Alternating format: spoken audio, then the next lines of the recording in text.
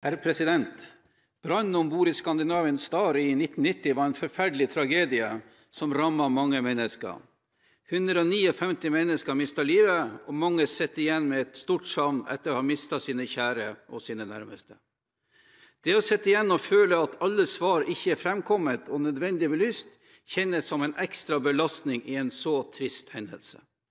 Stortinget har behandlet saken ut fra den gang da kjente opplysninger og undersøkelser.